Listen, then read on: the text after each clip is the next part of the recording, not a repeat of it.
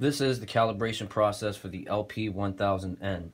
Now in order to start the process, first thing you want to do is go ahead and remove the platter from the scale in order to have access to your calibration plate with two sealing bolts. You're going to need a flathead screwdriver in order to go ahead and remove these sealing bolts from the top of the scale. So after you screw these out, you'll have access to your calibration port.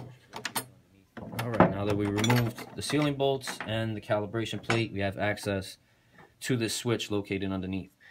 We're going to need something to stick in there, just so a pen or you know anything that's pointy, so that we can slide this switch to the left-hand side. Now that we've slid that back to the left-hand side, we're going to want to go ahead and put the platter back on the scale. Next step is for you to locate the power switch on the left-hand side of the scale, which is right here, in order to turn the scale on. It'll go directly into cal mode. Now that we're in cal mode, what we're going to want to do is press the number 3 key. This is your zero calibration. It will say unload on the top of the scale. So now with no weight on the platter, you want to make sure you just press the print key in order to do your zero calibration. Now count up. After it stabilizes, it'll go to load.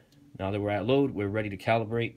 We're going to need 30 pounds of weight for an accurate calibration of the LP1000N. So I'm going to place my weight on the scale, 5 pounds, 10 pounds, and 20 pounds to make 30. Now we're going to wait for this to get in a good range. It's going to bounce around a bit. It's never going to stop on one exact number. Once you're in a steady range, you want to press the print key. It'll count up. Once it gets to 10, it'll give you a single beat. Once you hear that single beat, you're now calibrated. So now you want to remove your weight from the scale. After you remove your weight from the scale, just want to find that power switch on the side, turn it off. Once you do so, remove your platter again in order to have access to that switch.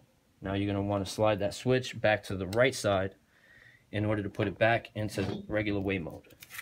And we're going to place the platter back on the scale in order to test our weight. So we're going to power it up, wait for it to count up, go into the weigh mode. Going through our count now. Once we get into the regular weigh mode, we want to test our weight. So here's five pounds, stable, another five pounds. We're stable. And now 20 pounds.